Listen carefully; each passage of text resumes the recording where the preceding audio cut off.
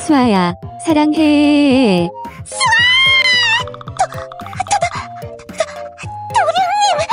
계셨어요?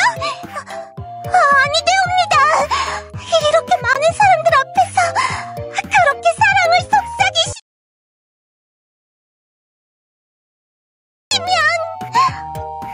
저, 정말 소녀 표정 관리가 안 되잖아요. 뭐야, 도령 있었네? 그런 말을 외쳐야겠냐? 아이고 씨발 진짜.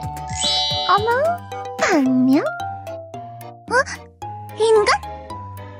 그 방에 숨어 있었나요?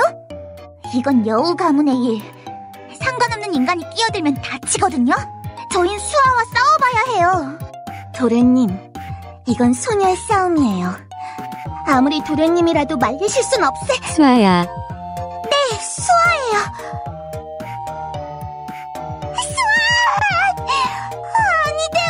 수아! 아니 되옵니다. 아이고 씨발.